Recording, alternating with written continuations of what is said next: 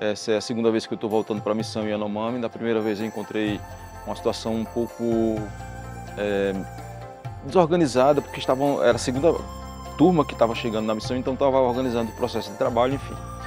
Tive informação que isso tudo foi equalizado, né? mas existem outras regiões que ainda não foram visitadas pela Força Nacional do SUS e, pela, e, e por outras equipes. Possivelmente nós devemos ir para essas outras regiões que não foram visitadas ainda pelo agente de saúde como da Força Nacional. Né? Da primeira vez eu encontrei muitos casos de malária, diarreia, muitas crianças, é, ferimento por arma de fogo, por incrível que pareça, nós atendemos quatro vítimas, conflito entre os indígenas mesmo. Né? A gente fez o resgate na floresta e trouxemos eles para serem atendidos no polo do Surucucu, que é onde eu fui, fiquei baseado da outra vez. Hoje eu estou retornando para Boa Vista, é, não sei em que base eu vou ficar, só lá que a gente sabe como é que vai ficar essa divisão.